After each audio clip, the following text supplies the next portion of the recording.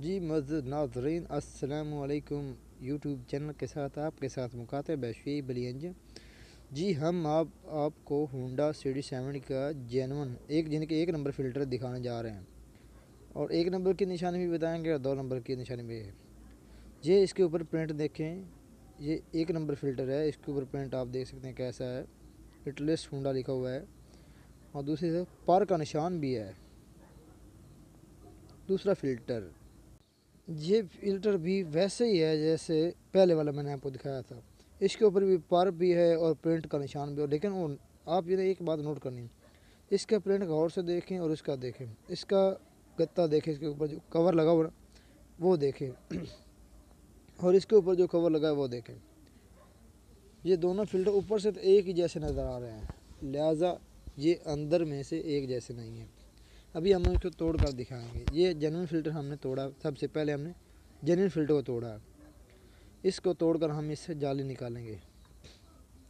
ये देखें, इस जाली को देखें। ये एक नंबर फ़िल्टर की जाली है। डबल जाली लगी हुई है। आप गौर से देखें। यही एक नंबर फ़िल्टर की निशानी है। और ये दूसरी जो जाली हम निकालने जा रहे हैं ना, ये दो नंबर फ़िल्टर की जाली है। ये हमारे हाथ में जो है, ये एक नंबर की है। अभी ये हमने दूसरी जो जाली पकड़ी, ये दो नंबर है। ये नॉन जनरल फ़िल्टर की निशानी है। लिहाजा आप ऐसा करें, ये ऐसा हो मोटरसाइकिल के साथ ऐसा होता है, जैसे आपके इंसान का नोज़ है ना, आप नोज़ नहीं साफ़ करें तो आपको सांस लेने में तकलीफ़ होगी। इसलिए ये भी मोट फ़िल्टर भी मोटरसाइकिल का नोज़ है। अगर इसे नॉन जनवन डलाया जाए तो ये भी इसे भी सांस लेने में प्रॉब्लम होती है।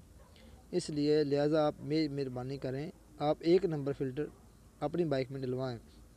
जैसे कि ये देखें, ये जाली हमारे हाथ में है। ये एक नंबर की जाली है।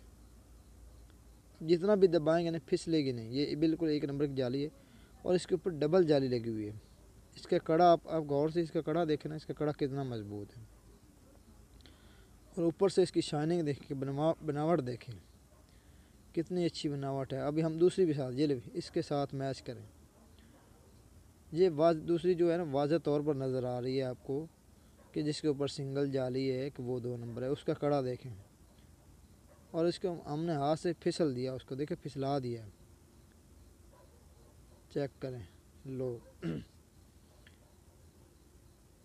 मज़ीद वीडियो देखने के लिए हमारे चैनल को लाइक और सब्सक्राइब ज़रूर करें।